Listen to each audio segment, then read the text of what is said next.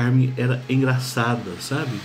Ela gostava de, é, de brincadeiras e tudo mais. Então aquela, aquela, aquela impressão de que a Carmen era muito, muito séria, muito sisuda, aquilo se desvanecia. Na verdade não era assim, não é? E a Carmen, como historiadora, ela pode-se dizer que se especializou, né? Ela foi talvez a primeira pessoa aqui em Goiás que tenha feito um curso é, de paleografia com um grande paleógrafo, um grande paleógrafo que esteve aqui na, é, na, na, na, então Universidade Católica de Goiás. E era exímia paleógrafa. Tinha uma facilidade muito grande para transcrição documental e ela se dedicou muito a isso.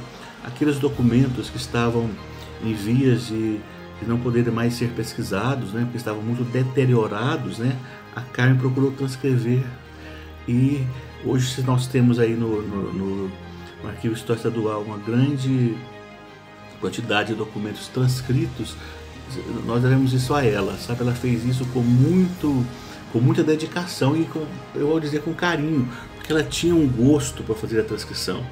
E é isso, o segredo é, é, das pessoas que fazem é, algo bem, né? Porque gostam daquilo, né? A Carmen gostava.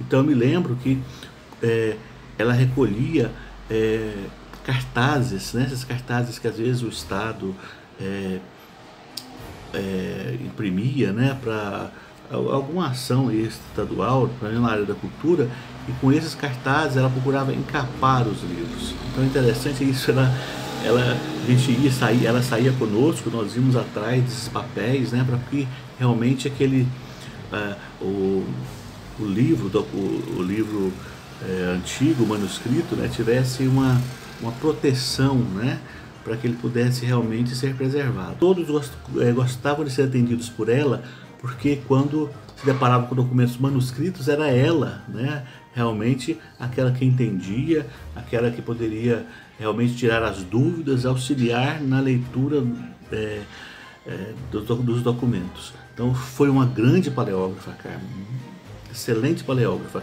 oferecer meios para que a documentação histórica e que o patrimônio histórico é, edificado pudesse ser conhecido, para que pudesse ser é, admirado, né?